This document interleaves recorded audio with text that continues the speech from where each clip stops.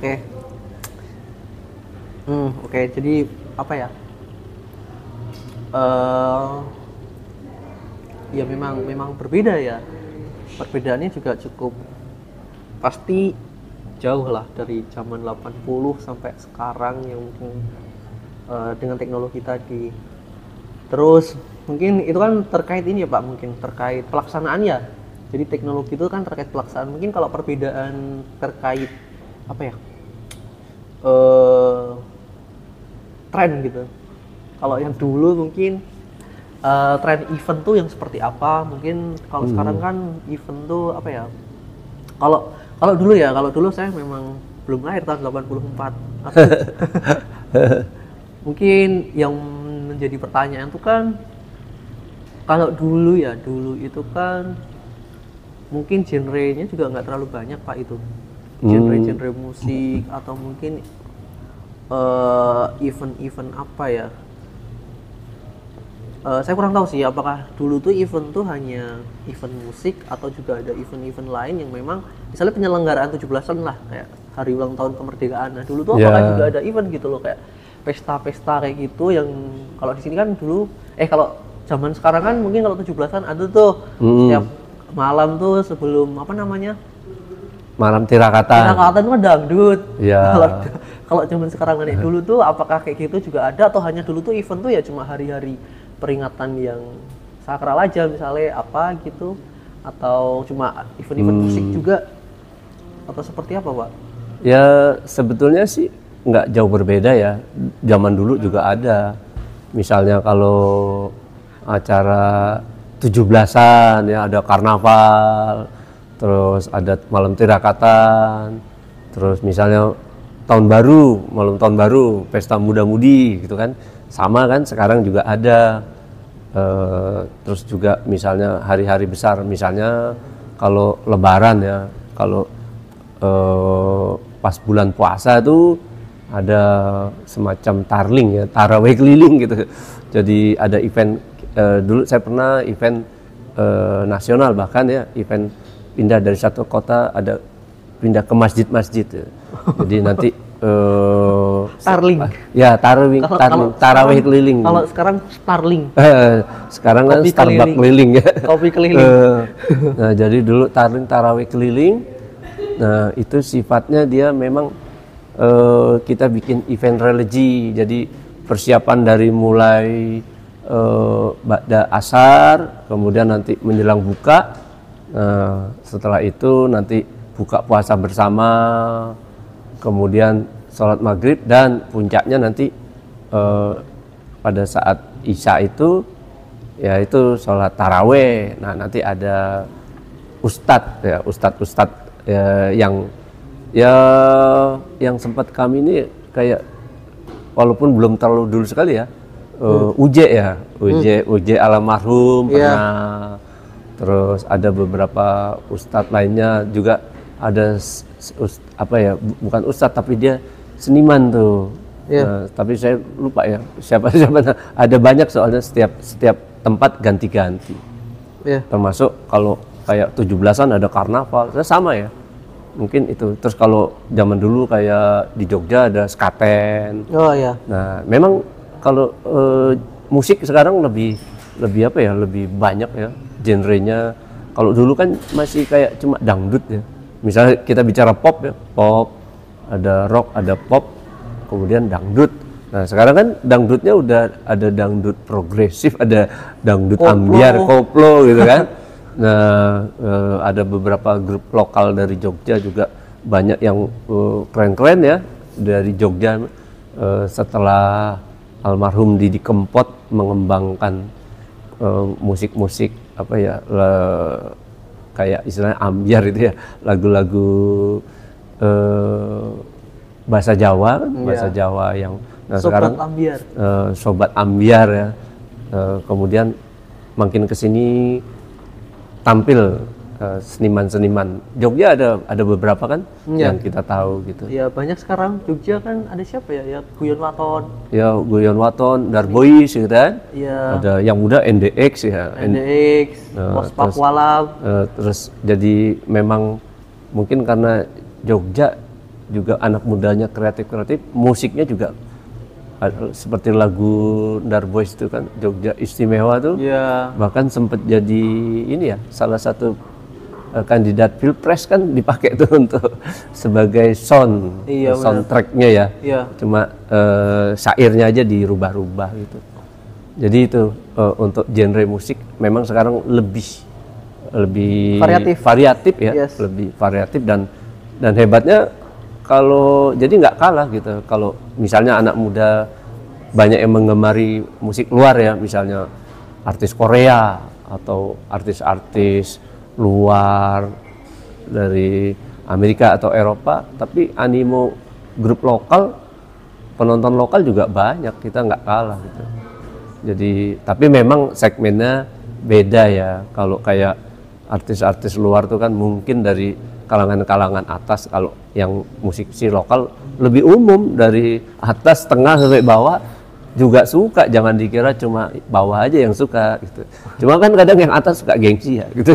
Iya. kalau eh, diam-diam hafal mereka cuma kan kadang wah gengsi. Tapi sekarang nggak gengsi kok banyak yang atas-atas itu menikmati lagu-lagu eh, istilah lagu sobat ambiar gitu kan.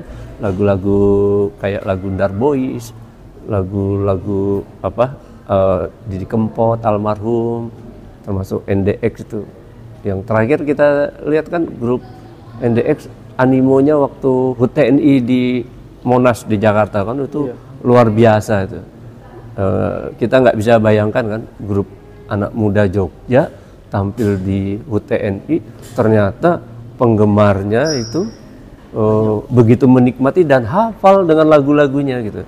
Nah ini kan satu kebanggaan kalau kita yang ada di Jogja dengan seniman-seniman Jogja, apalagi yang muda-muda ya, eh, termasuk apa eh, Darbois Gang gitu ya, Guyon Waton, ada lagi apa After Sign ya, ada ya, After Sight. Nah, banyak lah, Ya ya. banyak. gitu mas. Oke. Oke. Eh, jadi genrenya emang banyak. Lebih variatif lebih ya. variatif. Eh, itu terkait ini ya perbedaannya apa ya mungkin. Terus kalau sekarang kalau kita bicara event kan pasti kita nggak jauh-jauh dari perencanaan kan. Perencanaan yang bagus. Ya, karena proses penyelenggaraan event itu kan nggak mungkin sehari dua hari.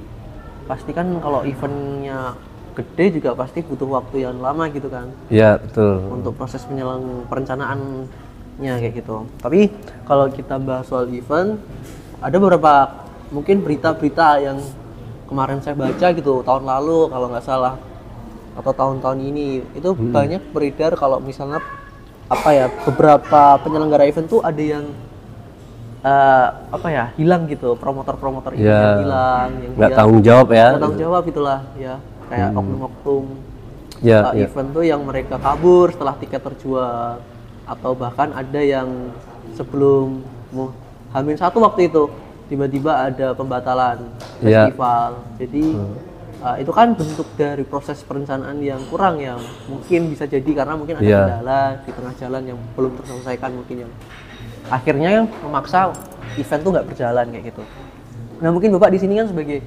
em, apa ya orang yang paham soal event gitu ya dari dulu gitu mungkin ada nggak sih em, langkah atau alur yang memang kita harus hadapi sebelum merencanakan event gitu loh. Sebelum penyelenggaraan event. Mungkin apa sih yang perlu diperhatikan kayak gitu supaya eventnya tuh bisa berjalan dengan lancar?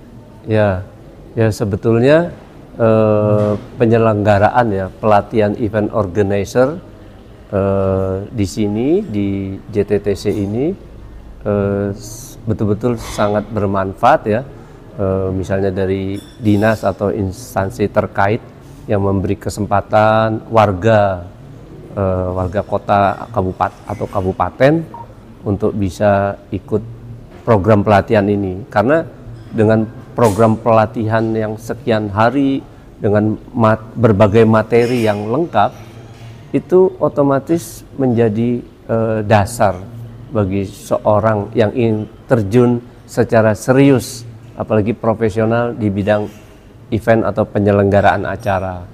Nah, dengan modal itu maka setelah eh, mengikuti pelatihan yang sekian hari itu otomatis mempunyai eh, modal pengetahuan eh, dan juga pengalaman berbagi dengan berbagai peserta atau narasumber. Nah, kalau sudah begitu, semuanya berarti akan terencana dengan baik karena salah satu eh, prinsip menyelenggarakan event adalah plan, ya, perencanaan. Nah, kalau meren- semua direncanakan dengan baik eh, sehingga tidak ada lah hal eh, yang sampai lolos atau luput dari rencana tersebut, otomatis persiapannya juga bisa lebih baik atau matang. Nah, terkait dengan pembatalan, apalagi pihak yang bertanggung jawab itu eh, beda cerita ya.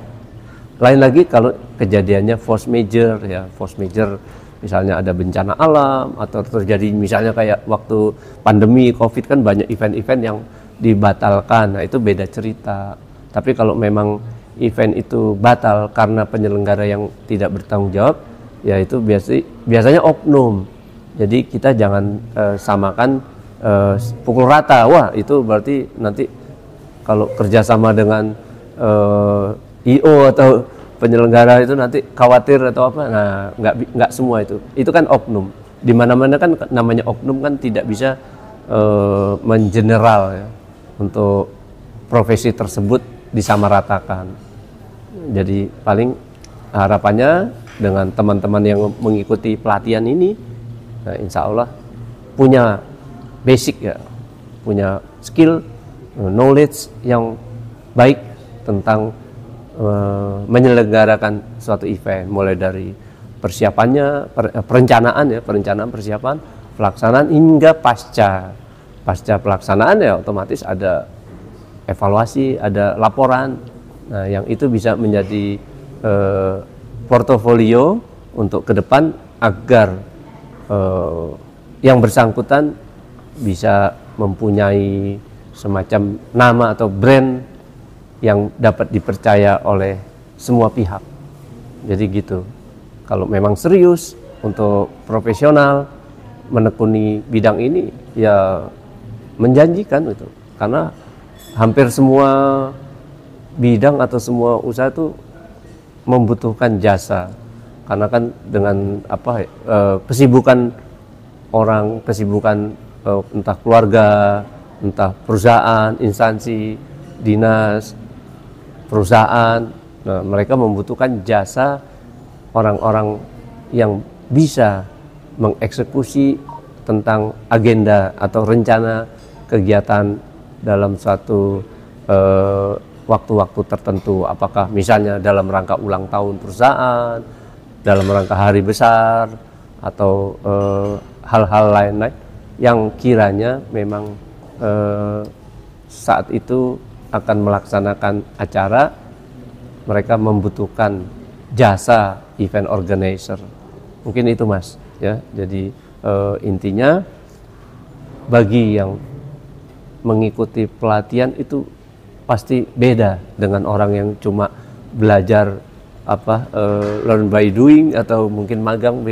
Nah secara kalau itu butuh waktu.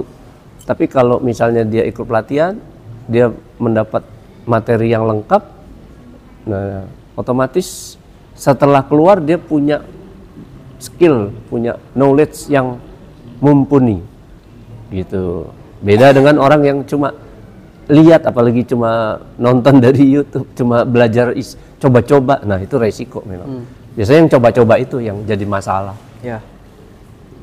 gitu Oke. Oke, mungkin karena udah 20 menit ya, Pak ya. Oh nggak terasa ya iya, gak kerasa. Mungkin eh mungkin eh, mungkin apa ya? mungkin di lain kesempatan kita akan bahas lagi mungkin karena banyak topik sebenarnya terkait event yang bisa dibedah gitu loh. Iya. Yang bisa dibedah atau mungkin kan banyak tren-tren yang juga kita bisa bedah juga di sini nantinya kayak gitu. Mungkin kita ke depannya mungkin saya punya waktu lagi dengan Bapak atau mungkin Bapak bakal ke sini lagi. Ya. kita akan uh, Ya, bincang-bincang lagi kayak gitu. Mungkin sekian ya Pak untuk topik hari ini tentang event. Mungkin ini kita lebih pembahasannya ter apa ya terkait apa yang sedang terjadi saat ini kayak gitu. Apa Iya. yang sedang lagi ngetren kita bahas untuk topik kali ini. Jadi terima kasih Pak. ya Udah terima kasih ke- kembali Eh, ke sukses buat semuanya Ya. Oke, terima kasih Pak. Ya, Sampai jumpa. sampai jumpa.